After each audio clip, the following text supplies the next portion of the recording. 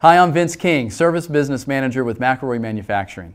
Today I'm going to introduce you to the engine and onboard generator using this TracStar 28 vehicle. However, this vehicle will support either a 28 carriage or a 250 carriage. We also offer the 28 and 250 carriages on a diesel vehicle, which we call the Super 28 and Super 250. To learn about the Super 28 and Super 250 engine, please refer to the TracStar 412 618 engine video. The engine compartment is very easy to access. The cowlings easily unclip and detach from the vehicle, which provides you easy access to the engine. Now the engine is a high quality gasoline Honda engine.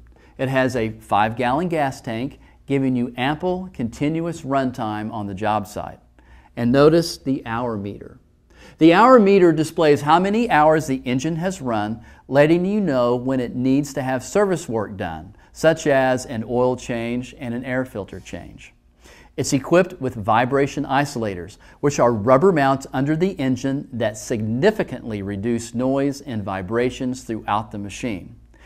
And you don't need another vehicle on the job site to move around the TracStar 28 and 250 because the engine powers the hydraulics, which in turn powers the rubber tracking system.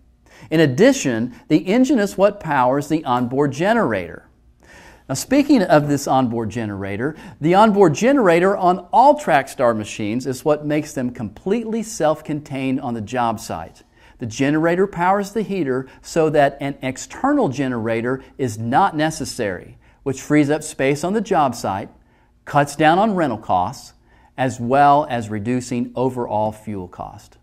And as an added safety feature for the operator, the electrical outlets are GFCI protected.